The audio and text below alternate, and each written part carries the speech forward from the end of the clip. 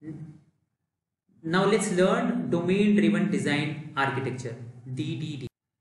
Domain uh, driven design is an approach to software development that emphasizes collaboration between technical and domain expert to create a shared understanding of the business domain. The goal is to model the software based on the domain's complexities, ensuring that the architecture aligns closely with the business needs. Now let's see the key concepts of this architecture DDD. Okay, first key concept is domain. So let's let's let's see the definition again. What it says, it's domain driven design.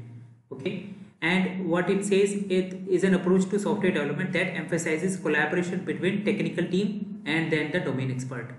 Okay, so now let's go back to the domain. The domain is the specific area of knowledge so for example, if it is an e-commerce website, domain is e-commerce. If it is life science healthcare website, domain is the healthcare. If it is aviation related website or it is aerospace related website, if it is finance related website, insurance related website or digital platform, those, these are domains. Domain is the specific area of knowledge or activity around which the application is centered it encompasses all the rules, processes and business needs that the software aims to address. Example is in an e-commerce platform, the domain includes elements like product management, order processing, customer interactions and payment processing. Understanding these, this domain is crucial for developing features that meet user needs effectively. So now we know what is domain. Second key concept is ubiquitous language this is a shared vocabulary uh, that both technical team and non-technical stakeholders use to describe the domain. The goal is to ensure that everyone understands the term in the same way, reducing the ambiguity and misunderstandings. Let's see the example. In the e-commerce context, terms like product, order, user, shopping, shopping cart, payments, are cons consistently used across discussions, documentation and code, right? For instance, when a developer refers to user, both the business analyst and the developer, they understand it to mean a registered customer of the e-commerce platform. So that is the language. Next key concept is bounded context. A bounded context defines the boundaries within which a particular model applies.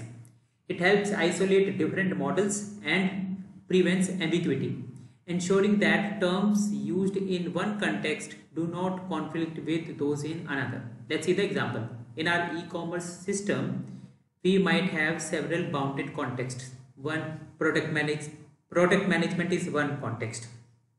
Order management is another context. User management is another context. Product management is responsible for handling product details, inventory and pricing, whereas order management focused on order creation, order status, payment processing, and user management deals with the user registration, authentication, profile management, etc.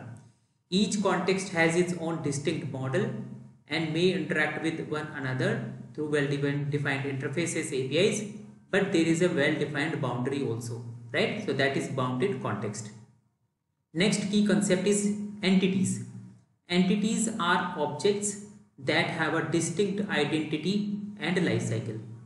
They are defined not just by their attribute but also by the continuity and the ability to change over time. Let's see the example. Product. Each product in the e-commerce system has a unique identifier, for example, SKU or product ID, right? And can have various attributes like name of the product, description of the product, price.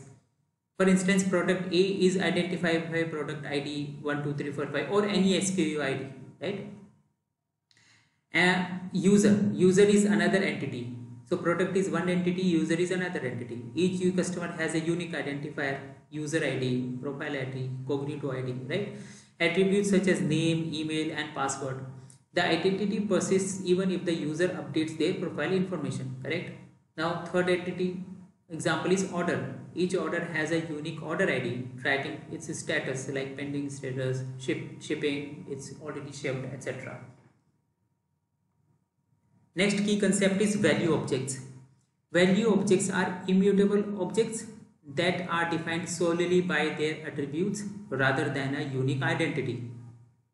They often represent descriptive aspects of the domain. Let's see the example. Money is one value object. A value object representing an amount and currency, for example, $20, right? It does not have a distinct identity. Instead, it is defined by its properties, like what is the amount, what is the currency, right? Address is another value object represents a shipping or billing address with attributes like street, city and zip code. An address does not have an identity, it is identified by its attributes.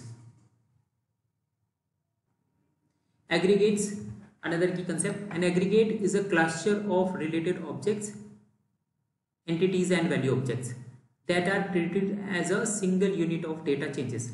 Each aggregate has a root entity which is responsible for enforcing business rules and maintaining the integrity of the aggregate. Let's see the example. Uh, for example, order aggregate, right? We already seen order is an entity, right? The order entity is the root, right? Order that entity. It may include associated value objects such as payment details of the payment method, shipping address. When an order is placed, changes are made through the order aggregate to ensure consistency. So we see this right aggregate is like a combination of the entity and the value object how they are associated with each other that is order aggregate right. Similar to that cart aggregate the cart is the aggregate root managing a collection of cart item value objects it ensures that all operations like adding or removing items are performed in a consistent manner. So these are aggregates. Then another key concept is repositories. Repositories are abstractions that provide methods for accessing and storing aggregates. Order aggregate, order repository. Product aggregate, product repository. They serve as a bridge between the domain model and data source such as databases. Example is order repository. This repository provides methods like save order or save the order and find the order by ID to persist and retrieve orders from the database. Similar to that product repository, it offers methods like find by SKU, to retrieve product details, encapsulating the data access logic. So now we know we have the repositories, right? Repository we just saw. We have the methods available, but how do we access those repositories? We need services. So domain services encapsulates business logic that does not naturally fit within the entities or value objects, they often perform operations that involve multiple entities or aggregates, right? And we access repositories. Example is order service, payment service. So, for example, order service, right? This service contains methods for creating and processing orders. They'll just create the order, they'll just fetch the order. Similar to that, payment service will manage the logic of processing payments uh, right uh, complete the payment etc so using services we will access the repositories and aggregates now let's understand domain driven design design benefits alignment with business goals.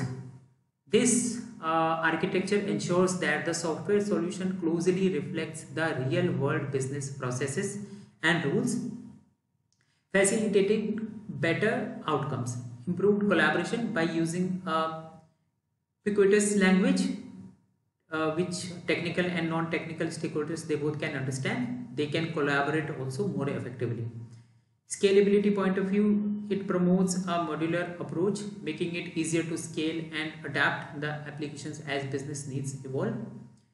Enhanced maintainability the clear separation of concerns helping in organizing code making it easier to maintain and evolve over time. Let's see the use cases. This architecture is particularly useful in industries with complex business logic such as finance industry, healthcare industry, e-commerce industry, where understanding domain uh, knowledge is crucial, is critical. Domain-driven design is a powerful methodology that focuses on creating a deep understanding of the business domain, enabling developers to build software that effectively meets business needs while maintaining a flexible and maintainable architecture.